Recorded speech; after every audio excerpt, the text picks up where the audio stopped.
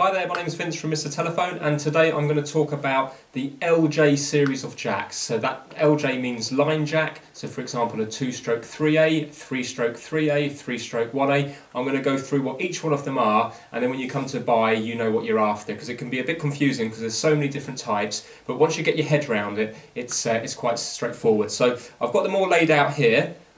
Over here this is one series, two series, three series, four series and five series. So I'm just going to talk about the three series to begin with because I've got all the sockets uh, uh, off, each off each type. So then I can once you understand the three series, you will understand the one, two, four, and five. So on the three series, you have a, a three-stroke 1A, three-stroke 2A, three-stroke 3A, three-stroke 4A, three-stroke 5A, and a three-stroke 6A and uh, I'm going to just explain what each one of them are and the same thing follows on the different ones. So for example on the 2 series it'd be 2 stroke 1, 2 stroke 3, 2 stroke 4, blah blah blah. So uh, let's go through the 3 series first. Now this first one here, this is a 3 stroke 1A and this is also known as basically this this has got the mastering components in so a lot of people call this the master socket it's got the uh, it's got the ring capacitor here that's to allow the AC ringing it's got the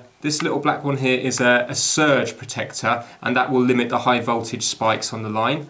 And this is a little resistor here, this blue one here is a resistor. And that's a test resistor. It's also called an out of service resistor and that's uh, it allows the service providers to do re remote testing if you haven't got any telephones plugged into the line. So basically the 3 series and this is a 1A, so that's a 3 stroke 1A. Now all of the 3 series are, if you have a look at the size, they are approximately 85 millimeter by 85 millimeter. So they're, they're 85 by 85 and they look like that.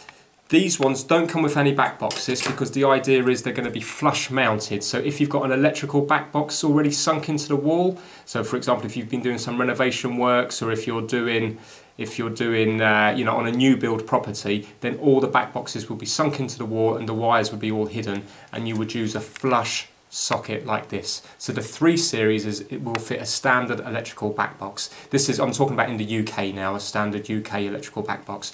So the one, the, the three series, three stroke 1A, 2A and 3A all have IDC connections. So I'm just gonna just gonna whiz through them now, just go down and have a look. So this is a three stroke 1A, three stroke 2A, three stroke 3A, and three stroke 4A, three stroke 5A, and three stroke 6A.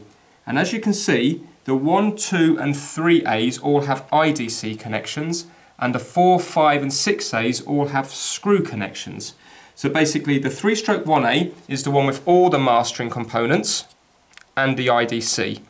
The 3-stroke 2A is what's called a PABX socket. So it just has the capacitor in and often it will still have the, the out of service resistor but sometimes it doesn't. So but it will have the capacitor to allow it to ring because phone systems in offices often just work on uh, you, you, need to fit these ones in because they don't have the ringer wire so you need to have the capacitor to make the phones ring. So this is a three stroke 2A the three-stroke 3A has no components at all. It's also known as a slave socket, an extension socket.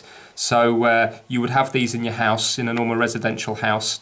After the master socket, you would fit extension sockets. So that's a three-stroke 1A, three-stroke 2A, three-stroke 3A. Now we come on to the screw terminal versions. This is exactly the same as the three-stroke 1A, which was this one here, except it has screw terminals. And because it's got screw terminals, it's called a three-stroke 4A. But the same applies, it's got the capacitor, the surge protector, and the resistor. Again, this is the PBX version, screw terminal, so this is a three-stroke 4A, which just a capacitor.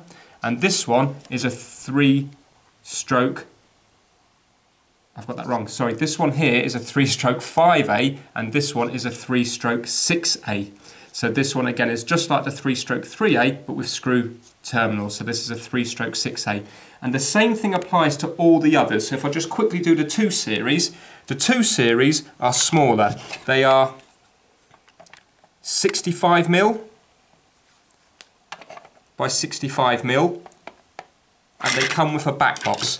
Now these are for surface mounting. So if you were going to put these just above your skirting board or on your skirting board, this is for surface wiring uh, and where you need to install the back box for surface mounting. Now if you have a look here, this is a two stroke 1A.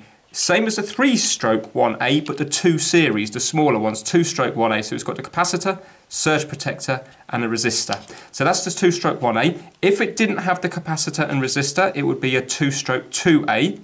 If it didn't have any of them, it would be a two stroke 3A, the same as the three stroke 3A. And then we move on to the screw terminal version. Again, exactly the same as the three stroke 4A. This is a two stroke 4A.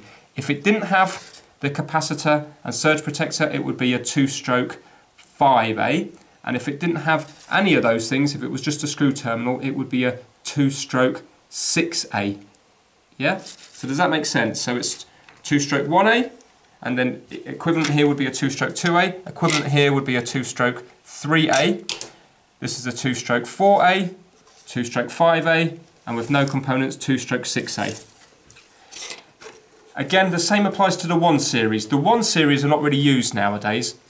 If you can have a look, the back box is kind of incorporated into the socket, so it's a, uh, it's a wider socket, and you just have this little black bank plate that goes on a wall. So on the 2 series, you have to put the cable through the back box, and then you fit the, the front plate to the cable. But on this one, you screw the back plate to the wall and then the back box and uh, the, the socket is uh, all incorporated in one. Don't really see these nowadays, but these are a smaller type socket. So if you have a look, it's roughly 51, 52 millimeters.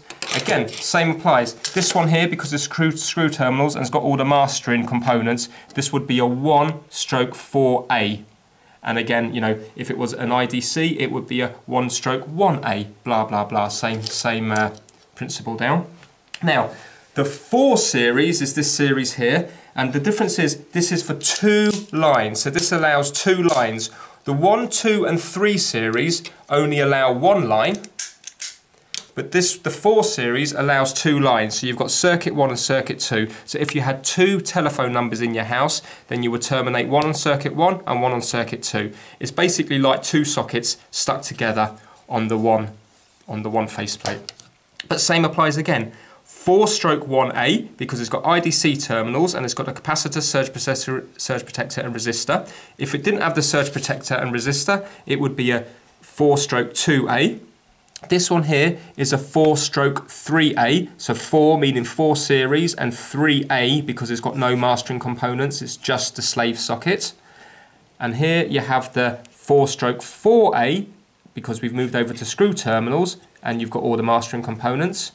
Take away the surge protector and resistor and it would become the 4 stroke 5A. Take away the surge order mastering components and it just becomes a normal extension, it would be the 4-stroke 6A. So that's the 4 series. And lastly, this is the 5 series. This is where you have two sockets but only one line, so just one telephone number and it, it, it terminates it, just one telephone number, but it allows two items to be plugged into that one telephone number. It's exactly the same as using a little double adapter. So again, these are not really used because it's just as easy to fit uh, one of the 4 series ones and just plug in a double adapter. But some people like these because they're a bit neater. Again, same thing applies. This is a 5-stroke, sorry, this one here is actually a 5-stroke 4A because it's got the mastering components, but it's got the screw terminals. If it didn't have the mastering components, it would be a, uh, a 5-stroke 6A. Uh, if it just had the capacitor, it'd be a 5-stroke 5A. And if it had IDC connections rather than screw terminals here, it would be a 5-stroke 1A. So you can see the different series, 1 series, 2 series, 3 series, 4 series and 5 series and then you know the difference of each one. The stroke 1 is all the mastering components on IDC, stroke 2 is the capacitor on IDC. Stroke 3 is no mastering components on IDC. Stroke 4 is all the mastering components on screw terminals. Stroke 5 is just a capacitor on screw terminals. And stroke 6 is uh, no components with screw terminals. And obviously, if it's IDC, you will need to use a little, uh, a little punch down tool, like so. And if it's screw terminals, you will need to use a little flat-headed screwdriver like so. So uh, hopefully that has cleared it up a little bit. If you want to, uh, if you want to buy any of my items, I have these all for sale in my eBay shop. You can always send me a message if you can't find it. Uh, this links through to my eBay shop. That's www.mrtelephone.co.uk. Hope you found the video useful. I will be doing a, a lot more videos in the future, and please subscribe to my channel for uh, for the other videos. Thanks a lot for your time. Take care. Bye now.